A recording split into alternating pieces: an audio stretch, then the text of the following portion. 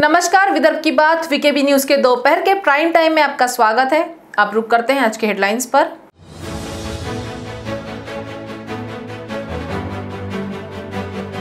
नागपुर में 25 और 26 जून को होगी जलापूर्ति प्रभावित। कनान जल शुद्धिकरण पाइपलाइन में लीकेज दुरुस्ती कार्य के चलते रहेगा 30 घंटे का शटडाउन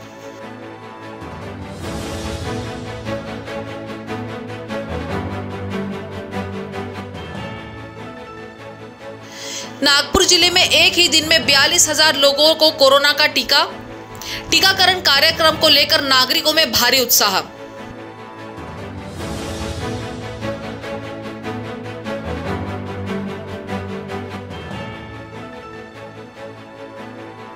और पति की दीर्घायु की कामना को लेकर सुहागनों ने की वट सावित्री की पूजा।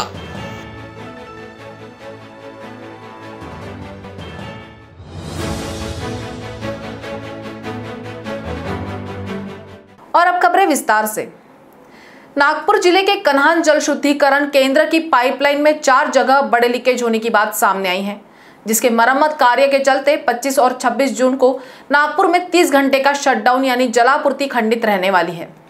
नागपुर महानगर पालिका के अंतर्गत आने वाले Ashinagar zone, Nehru Nagar zone, Lakadganj zone और सतरंजीपुरा जोन नगर वासियों के लिए एक महत्वपूर्ण सूचना है। दिनांक 25 और 26 जून को कन्हान की जल वाहिनी के मरम्मत का कार्य शुरू होने वाला है, जिसके कारण 30 घंटे का शटडाउन किया जाएगा। शहर को जलापूर्ति करने वाले ऑरेंज सिटी वाटर द्वारा बताया गया है कि कन्हान से नागपुर आने वाली 1300 एमएलडी और 900 एमएलडी पाइपलाइन में चार लीकेज है, जिसके मरम्मत का कार्य किया जाएगा, जिसके कारण चार जोन में जलापूर्ति प्रभावित होगी। यही नहीं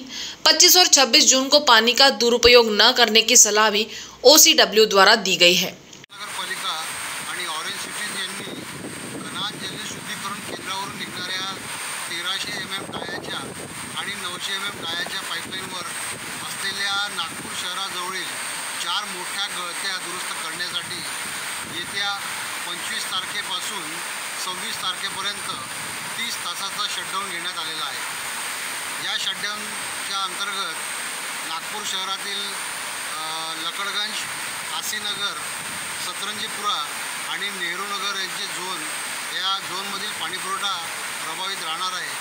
तरी या चारही झोनमधील नागरिकांनी पाण्याची साठवणूक करून ठेवावी. तसेच पाण्याचा जो वापर आहे या दोन तीन दिवसाच्या कालावधीमध्ये तो जपून करावा अशी सर्वांना विनंती. नागपुर जिले में बुधवार का दिन टीकाकरण के मामले में बड़ा उत्साहपूर्वक रहा। पूरे ज़िले में 23 जून को बयालीस हज़ार नागरिकों ने टीका लगवाने की जानकारी सामने आई है, जिसमें शहर में तेईस हज़ार सात सौ तीन तो ग्रामीण परिसर में अठारह हज़ार अठारह लोगों ने कोरोना का टीका लगवाया है। कोरोना से बचाव के लिए नागपुर में अब 18 प्लस का टीकाकरण 106 केंद्र पर शुरू हो चुका है, जिसको लेकर उत्साह काफ़ी है। बुधवार 23 जून को नागपुर ज़िले में बयालीस हज़ार लोगों ने टीका लगाने का रिकॉर्ड कायम किया है। बुधवार दिन भर नागपुर ग्रामीण में अठारह हज़ार अठारह तो शहर में बाईस हज़ार दो सौ इक्कीस लोगों ने कोरोना का टीका लगवाया। गौरतलब है कि इन दिनों ग्रामीण में तिरपन प्राथमिक केंद्र 10 ग्रामीण अस्पताल, दो उपजिला अस्पताल में तो शहर में 106 केंद्र टीकाकरण उपलब्ध है। एक ही दिन में इतने बड़े पैमाने पर टीकाकरण नागपुर के लिए राहत की बात है। नागपुर महानगर पालिका के द्वारा आज 18 प्लस के वैक्सीनेशन की शुरुआत हुई। और जैसी अपेक्षा थी, बड़ी आतुरता से नौजवान वैक्सीनेशन की राह देख रहे थे। उसी प्रकार का स्फूर्त प्रतिसाद सभी वैक्सीनेशन सेंटर पर देखने को मिला। महानगर पालिका के 106 वैक्सीनेशन सेंटर के माध्यम से नागपुर महानगर में आज तेईस हज़ार सात सौ आठ लोगों ने वैक्सीनेशन लिया और संपूर्ण ज़िले में चालीस हज़ार प्लस का वैक्सीनेशन हुआ। ये अपने आप में नागपुर शहर और नागपुर ज़िला मिला करके एक रिकॉर्ड है। अपेक्षा है कि आज पहला दिन था। आने वाले समय में नौजवान इसी प्रकार का स्फूर्त प्रतिशत और देंगे ऐसा विश्वास है। और हाँ एक बात का मैं विशेष उल्लेख करना चाहूँगा कि इतनी बड़ी संख्या में वैक्सीनेशन होने के बावजूद किसी प्रकार की भगदड़ नहीं थी, भीड़ नहीं थी, बड़ी सहजता से डिसिप्लिन में, अनुशासित तरीके से पूरा का पूरा वैक्सीनेशन संपन्न हुआ। नौजवान आज ही की तरह कल भी प्रायर रजिस्ट्रेशन करा करके, पहले रजिस्ट्रेशन करा करके जो स्लॉट उन्हें मिला है उस स्लॉट में मिले हुए समय के हिसाब से जाएँ तो अनुशासित तरीके से वैक्सीनेशन करने में सहयोग मिलेगा। मैं सारे नौजवानों का अभिनंदन करता हूँ। ज्येष्ठ पूर्णिमा के दिन वट सावित्री व्रत पूजन करने की भी परंपरा है। ये पर्व मुख्य रूप से गुजरात, महाराष्ट्र, गोवा समेत दक्षिण भारत के कई इलाकों में मनाया जाता है। इस व्रत को शादीशुदा महिलाएँ अपने पति की लंबी उम्र के लिए रखती है और वट यानी बरगद के पेड़ का पूजन करती हैं। नागपुर में भी सुहागन महिलाएँ बरगद के पेड़ का पूजन कर अपने पति की दीर्घायु के लिए कामना करती नज़र आई।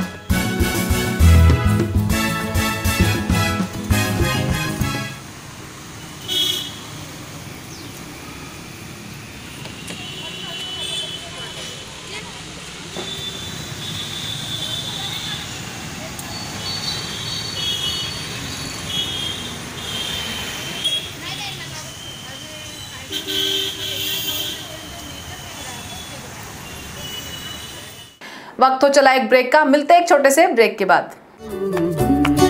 कहते हैं, जब प्रोफेशनल लाइफ रंग लाती है तो पर्सनल लाइफ थोड़ी फीकी पड़ जाती है।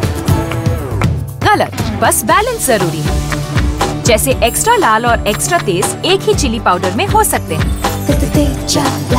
नेचुरल रेड और तीखेपन का परफेक्ट बैलेंस है। सुरुचि तेजा लाल चिली पाउडर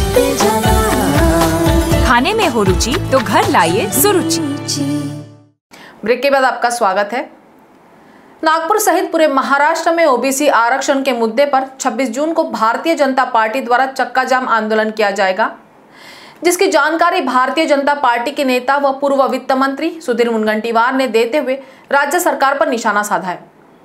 यही नहीं, सुधीर मुनगंटीवार ने ओबीसी समाज के लोगों से भी इस आंदोलन में शामिल होने का आह्वान किया। नागपुर के प्रेस क्लब में आयोजित पत्र परिषद में सुधीर मुनगंटीवार ने चक्का जाम आंदोलन की जानकारी दी। नहीं, कई ओबीसी भाई ओबीसी संगठन हमारे साथ है, मगर मैं तो ये चाहता हूँ कि ओबीसी को राजनीतिक आरक्षण मिलाने के लिए सभी ओबीसी संगठन, नहीं, सभी राजनीतिक पार्टी के ओबीसी नेता ये आंदोलन में शामिल हो। अगर वो चाहते हैं कि भारतीय जनता पार्टी के झंडे के साथ उन्हें एलर्जी है, कुछ रिएक्शन आ सकती है। तो उनके लिए हम अलग शतरंजी का बंदोबस्त करेंगे, जिस पे कोई भारतीय जनता पार्टी का झंडा नहीं रहेगा। ये राजनीतिक आरक्षण सरकार के गलतियों का नतीजा है कि सुप्रीम कोर्ट ने बड़े स्पष्ट रूप से कहा। सुप्रीम कोर्ट ने कहा कि यार क्या आप पंद्रह पंद्रह महीना, आप तारीख पे तारीख लेते हो अभी नींद खुली फिर भी सुप्रीम कोर्ट ने यह नहीं कहा कि आरक्षण अब कभी नहीं होगा। वो कहा, हम आरक्षण देने को तैयार है। तीन बातें ध्यान में रखना। एक, तुरंत मागास वर्गीय आयोग का निर्माण करना चाहिए। आप एम्पेरिकल डाटा गाइए और ये डाटा के आधार पे आप जिला न्याय जो आरक्षण आपको देना है वो दीजिए। सिर्फ़ 50 प्रतिशत के ऊपर ये आरक्षण नहीं होना चाहिए। सब मिलाकर अनुसूचित जाति का, अनुसूचित जमाती का और ओबीसी। ये 50 प्रतिशत के ऊपर नहीं होना चाहिए, सुप्रीम कोर्ट ने कहा है। और आप जिस ज़िले में जैसे आरक्षण देते हो, जैसे गढ़चिरोली में आदिवासी भाइयों की संख्या ज़्यादा है तो वहाँ पे आदिवासी भाइयों का आरक्षण ज़्यादा है। और ये कहते समय उन्होंने और एक स्पष्ट बात कही कि हम जो एक पद होता है, जैसे नगर पंचायत का अध्यक्ष है, जिला परिषद का अध्यक्ष है, उसके आरक्षण को हम धक्का नहीं लगा रहे। हम सिर्फ़ ये जो सदस्यों का आरक्षण है, इस आरक्षण के बारे में हम कह रहे हैं कि आप डाटा लाइए। क्योंकि ये जो रिपोर्ट रिज़ल्ट दिया इन्होंने, उस रिज़ल्ट में उन्होंने कोई जगह के कुछ जगहों की इंफॉर्मेशन भी दी कि जैसे वाशिम है। वाशिम में जिला परिषद में 5.76 एक्सीड है, जो 50 परसेंट से ज़्यादा होता है जिला परिषद में। भंडारा में जिला परिषद में 1.92 है। अकोला में 8.49 है तो ये सुप्रीम कोर्ट ने अपने निकाल में बड़े स्पष्ट रूप से कहा है कि ये सारा आरक्षण 50 प्रतिशत के ऊपर होता है। नहीं, इस बारे में, इस बारे में विधानसभा में मैंने खुद बड़े विस्तृत रूप से सरकार को ये कहा था कि राज्य सरकार बत्तीस रुपए के आसपास इसमें टैक्स देती है, राज्य सरकार। और केंद्र के टैक्स में 42 परसेंट राज्यों को मिलता है।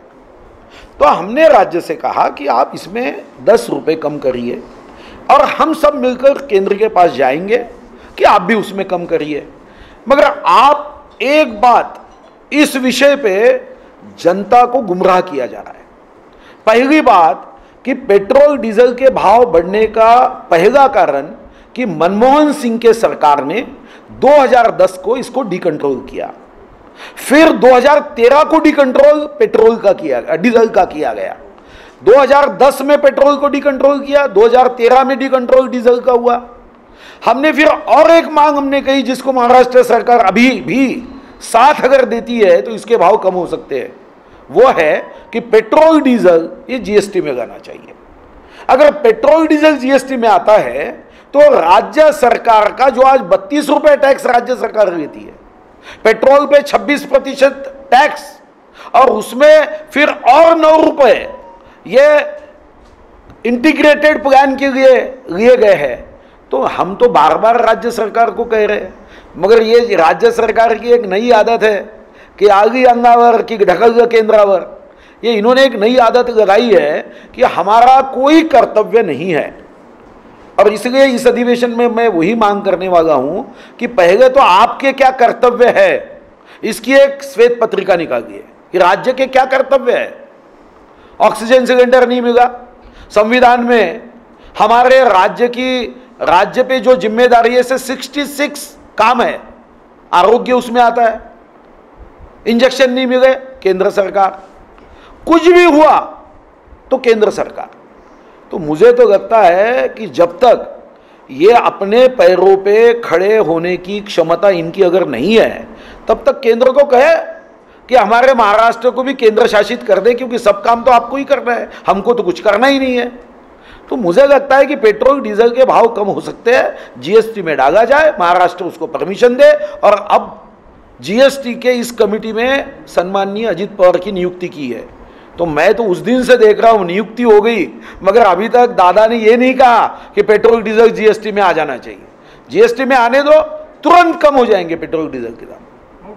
चंद्रपुर ज़िले के चिमुर तहसील के पलस गाँव में इन दिनों बाघ का आतंक देखा जा रहा है, जहाँ बाघ के हमले में एक गांववासी और उसको पकड़ने आया एक जवान घायल हो गया है, जबकि बाघ के गाँव में खुलेआम घूमने के वीडियो सोशल मीडिया पर वायरल हो गए हैं।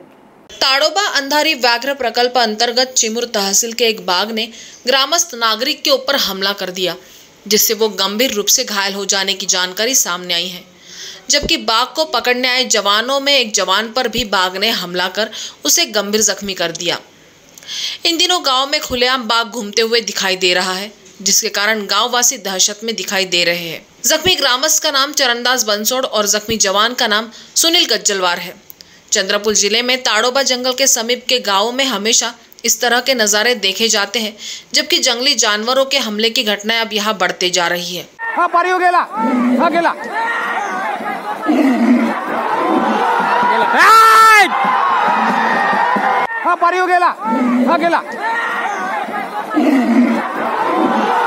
हाँ